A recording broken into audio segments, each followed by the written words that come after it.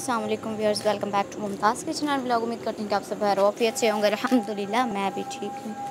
तो जी, आज हम बनाने लगे हैं शिमला गोश्त। और बहुत ही इजी रेसिपी आपके साथ शेयर करने वाली हूँ। सबसे पहले हमने इसमें लहसुन और प्याज ऐड कर लिया, ठीक है? इसको अच्छे तरीके से हम फ्राई करेंगे। तो अगर आप हमारे चैनल पर नए हैं तो हमारे चैनल को सब्सक्राइब कर लें, ताकि हर वीडियो का नोटिफिकेशन आपको मिल सके। फिर इसको हिलाएँगे आप जल्दी जल्दी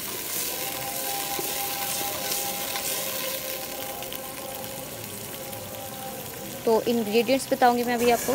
तो जी टू स्पून हमने ले लिया रेड चिली नमक, हल्दी और जिंजर पाउडर तो साथ ही साथ हमने शिमला की भी कटिंग कर लिया तो ये हमारा किलो गोश्त है, बड़ा गोश्त, इसको हमने बॉयल कर चुके हैं पहले से।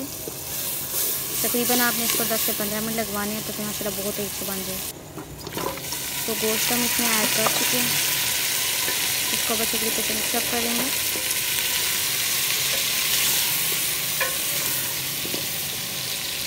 और मेरी अपने फॉलोअर्स से गुजारिश है कि हमारी वीडियो को वॉच करें और अपने अपना में ज़रूर बताइएगा कि आपको हमारी वीडियो कैसी लगे।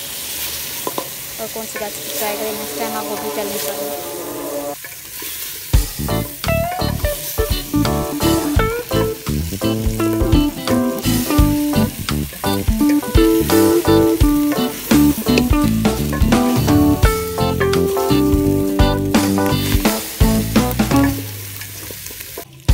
अपनी